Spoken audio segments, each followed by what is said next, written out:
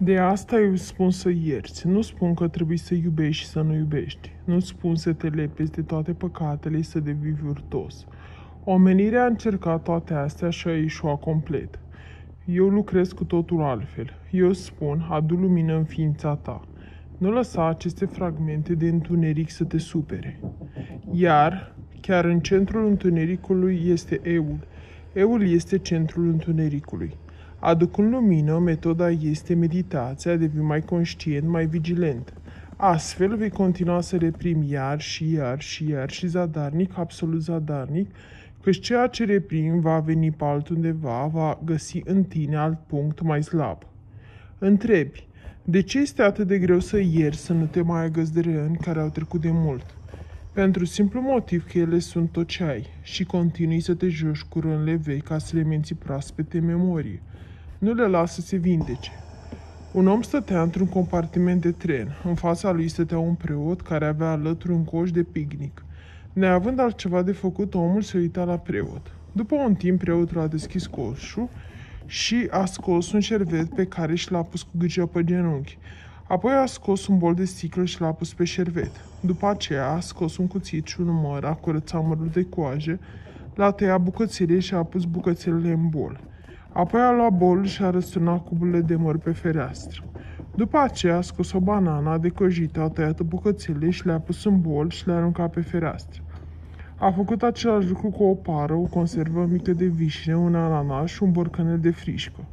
După ce le-a aruncat pe toate pe fereastră, a șters bolul, a împăturit șervetul și le-a pus la loc în coșul de picnic. Omul care îl urmărea uimit pe preot a întrebat în cele din urmă.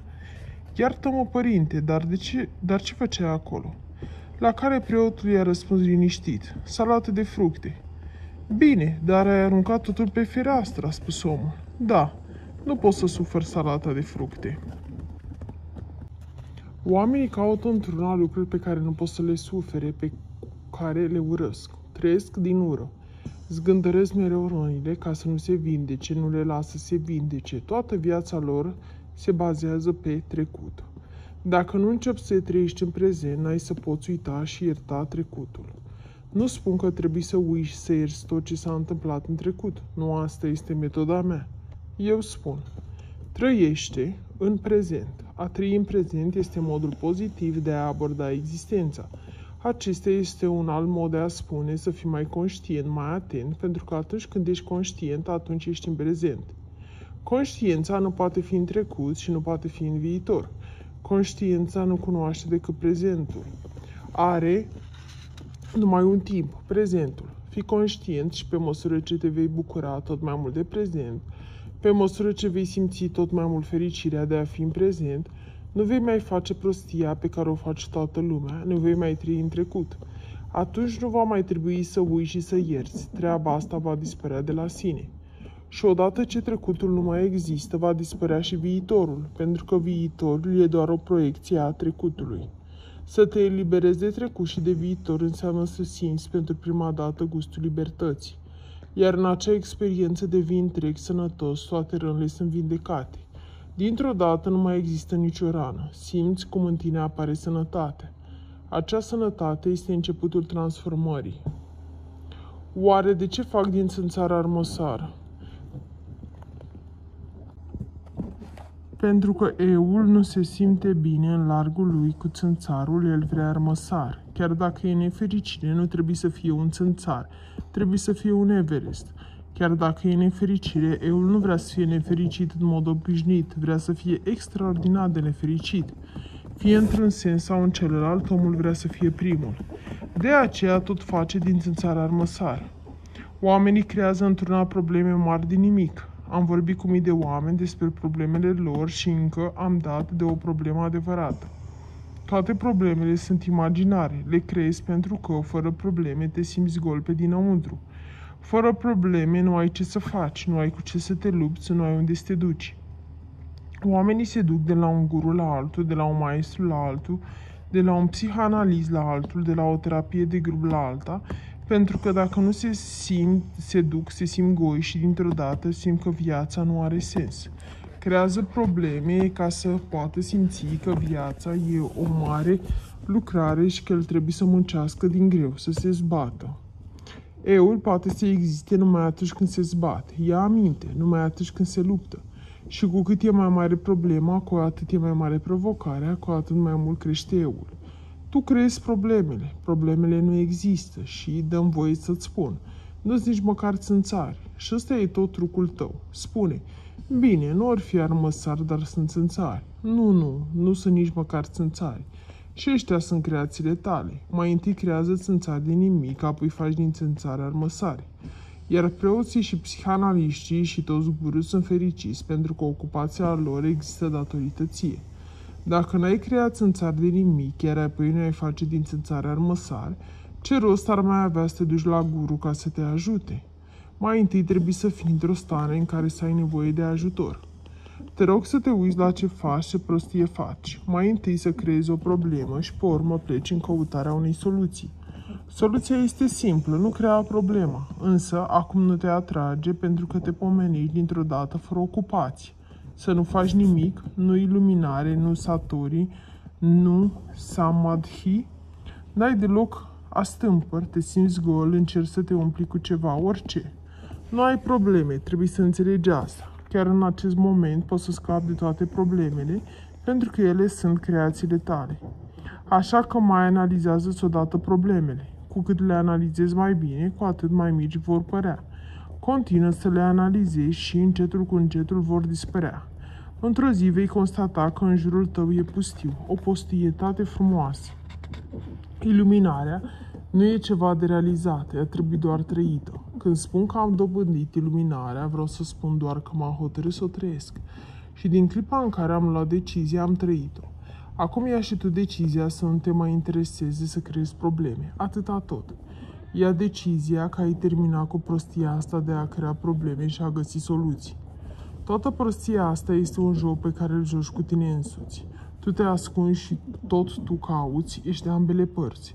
Și o știi. De aceea când spun asta, zâmbești, râzi. Nu vorbesc despre nimic caragios, ai înțeles. Râzi de tine, ai înțeles. Trebuie să fie așa pentru că e jocul tău. Te ascunzi, iar apoi aștept să te cauți să te găsești.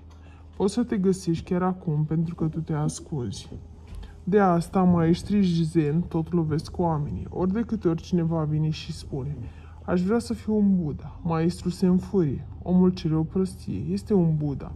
Dacă Buddha vine la mine și mă întreabă cum să fiu un Buddha, ce ar trebui să fac, îi dau din cap. Pe cine crezi că prostești? Ești un Buddha. Nu-ți crea necazuri inutile. Ești un mare creator de probleme. E suficient să înțelegi asta și dintr-o dată problemele dispar. Ești construit perfect, te-ai născut perfect. Ăsta e tot mesajul. Te-ai născut perfect. Perfecțiunea este natura ta cea mai intimă. Trebuie doar să o trăiești. O tărăște-te și trăiește-o. Dacă nu te-ai săturat încă de joc, poți să continui, dar nu întreba de ce, știi. De ce eul e simplu? Eul nu poate exista în pustietate, îi trebuie ceva cu care să se lupte. Chiar și o stafie e bună, important e să te lupți cu cineva.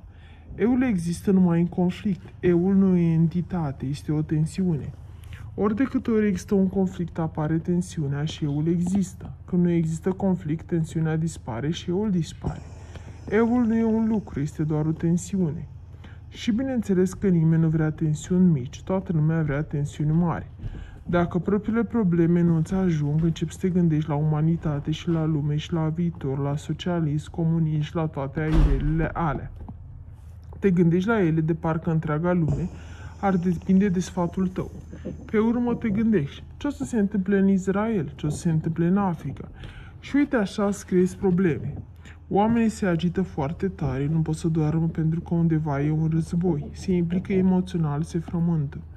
Viața lor este atât de obișnuită, de banală, încât trebuie să se obțină neobișnuitul din altă sursă.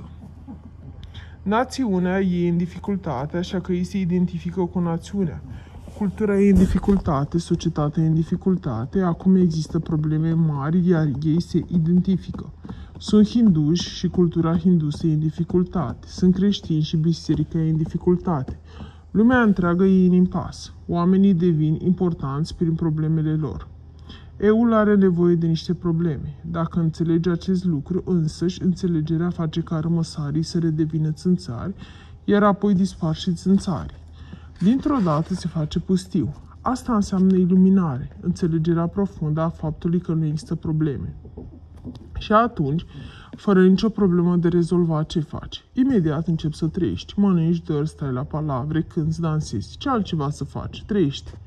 Dacă există un Dumnezeu, un lucru e sigur. El nu are probleme. Asta e sigur.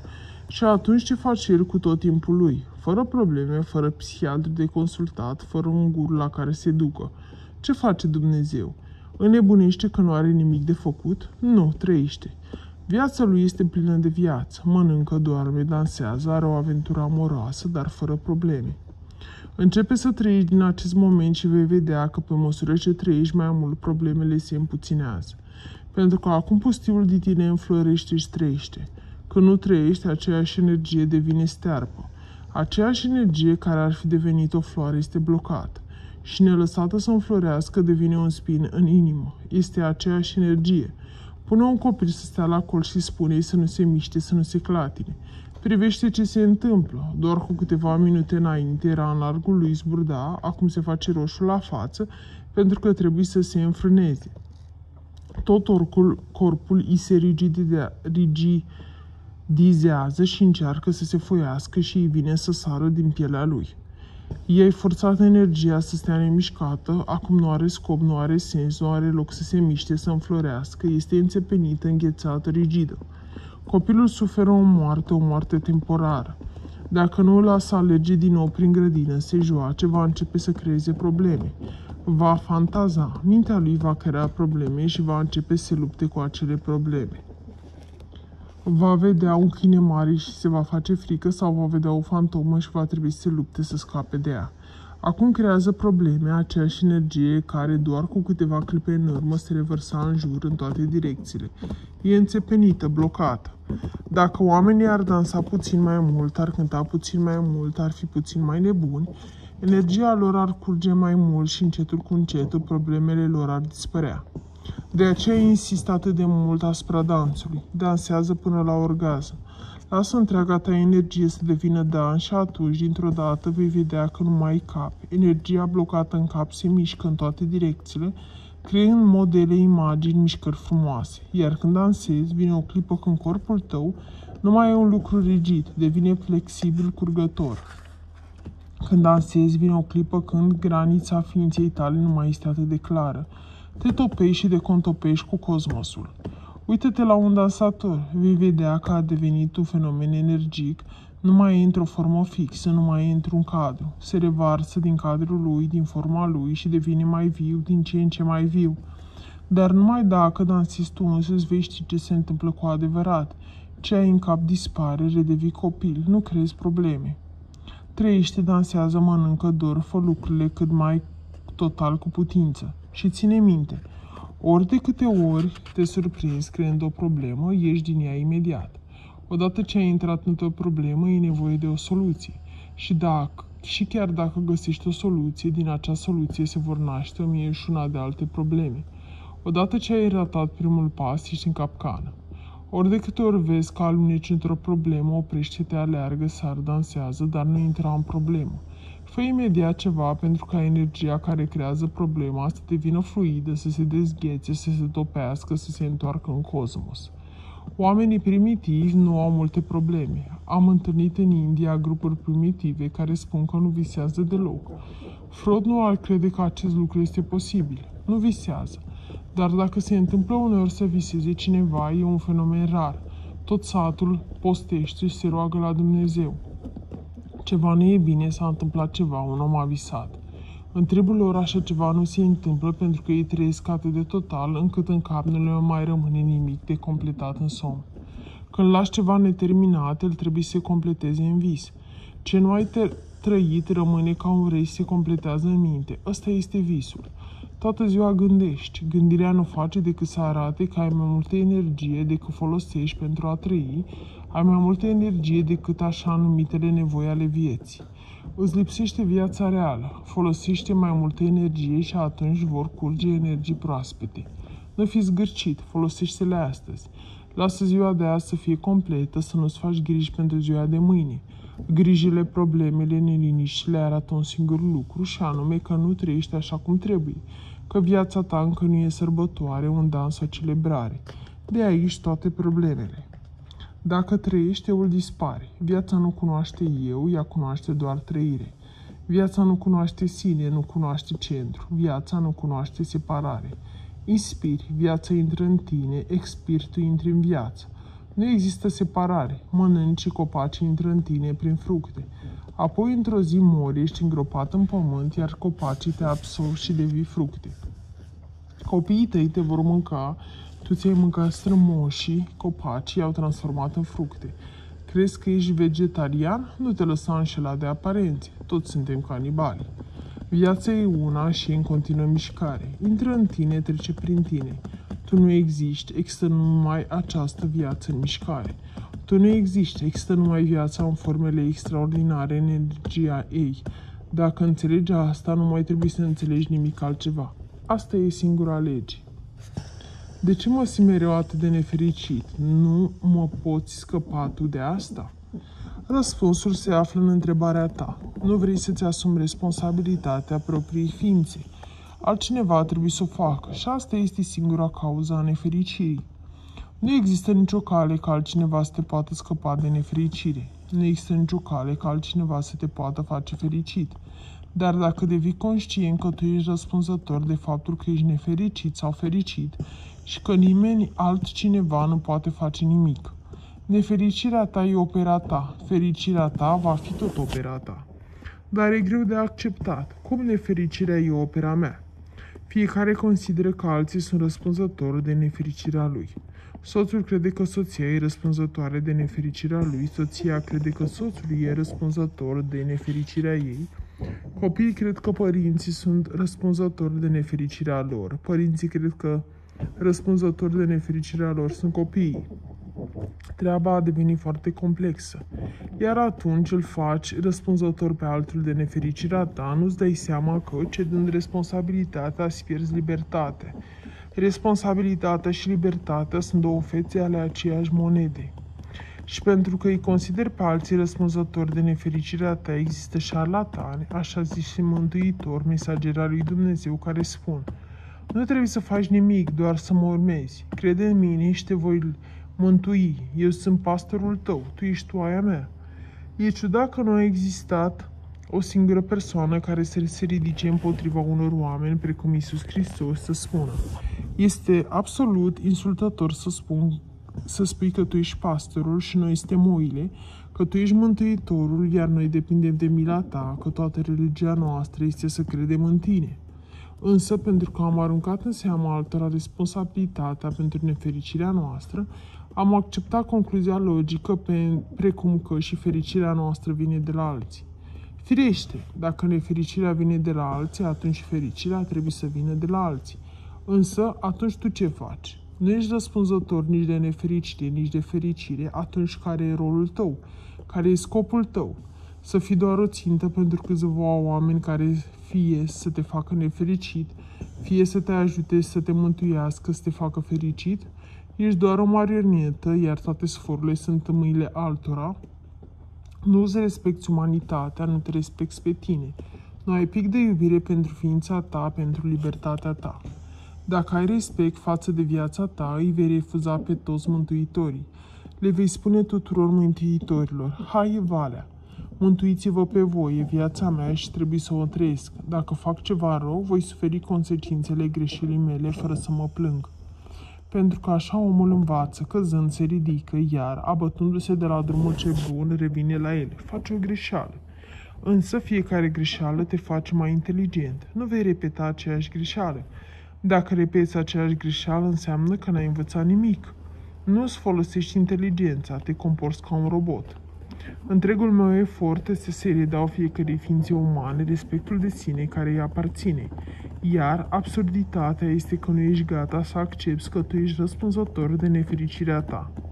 Nu există o singură nefericire de care să nu fii răspunzător, fie că e invidie, fie că e mânie, fie că e lăcomie, ceva din tine trebuie să fie motivul pe care a creat nefericirea. Și ai văzut vreodată pe cineva făcând fericit pe altcineva? Și asta depinde de tine, de liniștea ta, de iubirea ta, de pacea ta, de încrederea ta. Iar minunea se întâmplă, nu o face nimeni. În Tibet există o poveste frumoasă despre Marpa. Nu o fie reală, dar e foarte semnificativă. Mie nu-mi pasă prea mult de fapte, mă interesează mai mult semnificația și adevărul, ceea ce e cu totul altceva. Marpa a auzit de la un maestru, s-a interesat, s-a dus la maestru, i s-a predat cu încredere totală și l-a întrebat pe maestru, ce trebuie să fac acum? Maestrul a răspuns, odată ce mi te-ai predat, nu mai trebuie să faci nimic, doar să crezi în mine. Numele meu este pentru tine singura mantră secretă. Ori de câte ori ai să fii în dificultate, amintește de numele meu și totul va fi bine. Marpa i-a atins picioarele și, fiind un om simplu, a încercat imediat povața maestrului. A mers pe apă. Altor discipoli care erau de multe ori cu maestrul nu le-a venit să creadă. Omul mergea pe apă. Au dat fuga la maestru și au raportat. Omul acela nu e om obișnuit, te-ai înșelat în privința lui, merge pe apă. Poftim, s-a mirat maestrul. S-au repezit cu toții la râu, iar Marpa mergea pe apă, cântând și dansând. Când a ajuns la mal, maestrul a întrebat, care e secretul? Marta a spus, care e secretul? Este acela secret pe care mi l-ai spus tu, numele tău. I-am amintit de tine, am spus, maestre, îngăduiem să merg pe apă, s-a întâmplat. Maestrului nu-i venea să creadă că numele lui putea să facă asta, dar cine știe, el nu încercase niciodată. Însă s-a gândit că ar fi bine să mai verifice câteva lucruri înainte să încerce, așa că i-a spus ei Marpa. Poți să sar de pe stânca asta? Marpa a răspuns, fac ce vrei tu. S-a urcat pe stâncă și a sărit, iar ceilalți stăteau în vale așteptând ca Marca să facă fărâme. Însă Marpa aterizat zâmbind în poziția lotus. Toți l-au înconjurat și l-au cercetat, nici măcar o zgârietură. Maestrul a spus, Asta e ceva, ai folosit numele meu? Da, a răspuns Mas, Marpa. Gata, a spus maestru, am să încerc și eu și la primul pas în apă s-a dus la fund. Lui Marpa nu-i venea să creadă că maestru s-a scufundat. Discipolii au sărit în apă și l-au scos pe maestru. Era pe jumătate mort. I-au scos apa din plămâni și cumva a supraviețuit. Marca, Marpa a spus, Ce s-a întâmplat? Maestrul a răspuns, Iartă-mă, nu sunt maestru, sunt un impostor. Însă Marsta, Marpa a întrebat, Dacă ești un impostor, cum de a avut efect numele tău? Impostorul a spus, nu numele meu a avut efect, ci încrederea ta. Nu contează în cine ai încredere. Importantă este încrederea, iubirea. Eu n-am încredere în nimeni, n-am încredere în nimeni. Eu îi înșel pe toți. Cum să am încredere? Și mereu mi-e frică să nu fiu înșelat de alții pentru că eu înșel. Mi-e imposibil să am încredere în cineva. Tu ești un om inocent, ai avut încredere în mine. Încrederea ta a făcut ca minunile să se întâmple. Nu contează dacă povestea e adevărată sau nu, un lucru e sigur. Nefericirea ta este pricinuită de greșelile tale, iar fericirea ta este dată de încrederea ta, de iubirea ta. Mă întrebi, de ce sunt nefericit? Ești nefericit din cauza că nu ți asumi responsabilitatea, nu accepti că tu ești răspunzător de ea. Cauza nefericirii tale se află în tine, înlătură cauza, iar nefericirea va dispărea. Însă oamenii nu vor să înlăture cauza, vor să înlăture nefericirea. Lucrul acesta este imposibil, e absolut neștiințific. Și pe urmă încerc să te ajut să te salvezi. N-ai de ce să devii cercetor. Nu trebuie să devii cercetor, nu ești oaie, ești împărat.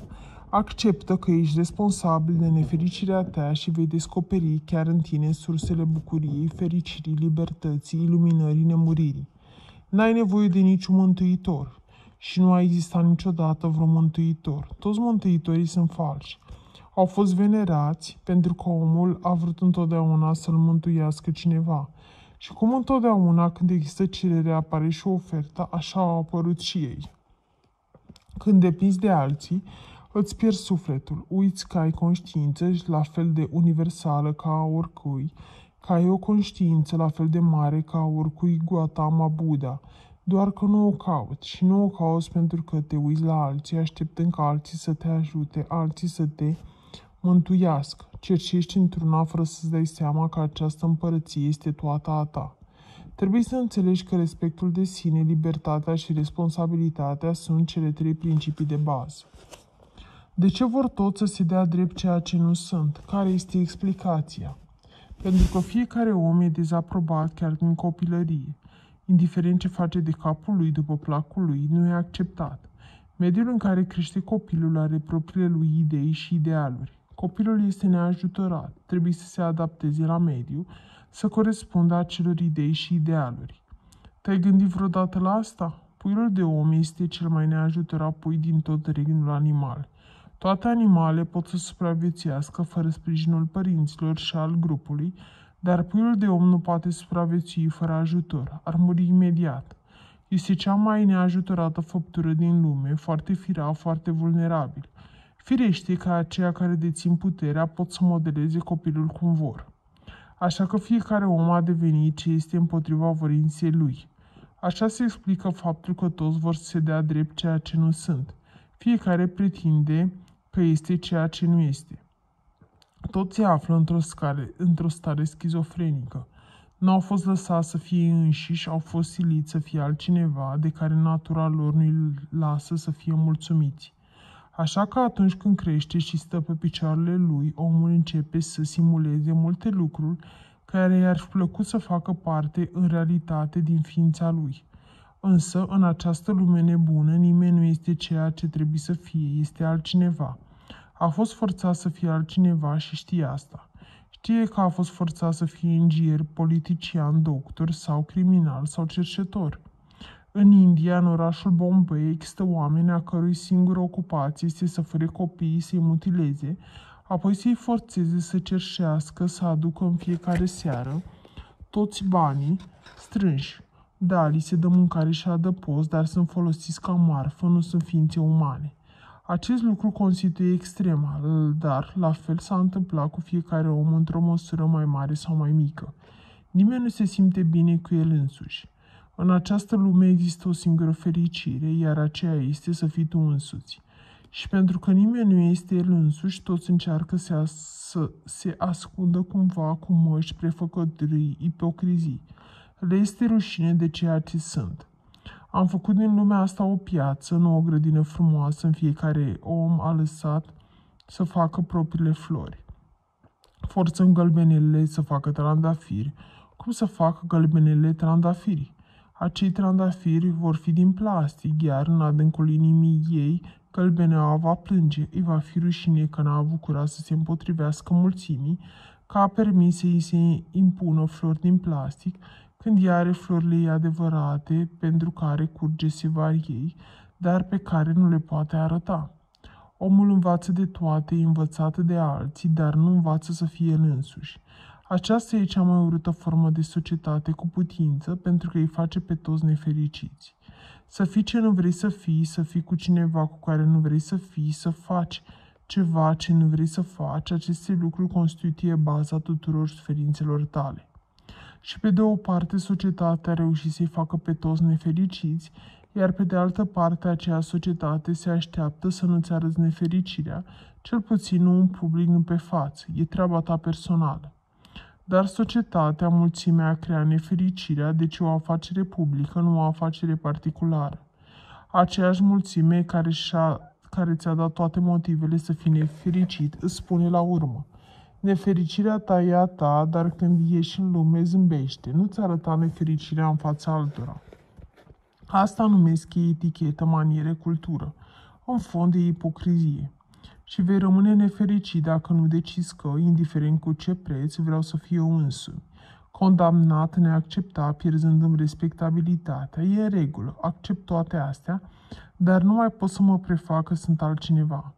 Această decizie și această declarație, această declarație de independență, de eliberare de influența mulțimii, dau naștere ființei tale firești, individualității tale atunci nu mai ai nevoie de nicio natură. Atunci poți să fii pur și simplu tu însuți, așa cum ești.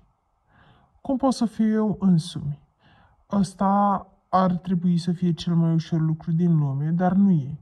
Să fii tu însuți nu trebuie să faci nimic, ești deja. Cum poți să fii altfel? Cum să fii altcineva? Dar îți înțeleg problema. Problema se naște din faptul că societatea corupe pe toată lumea.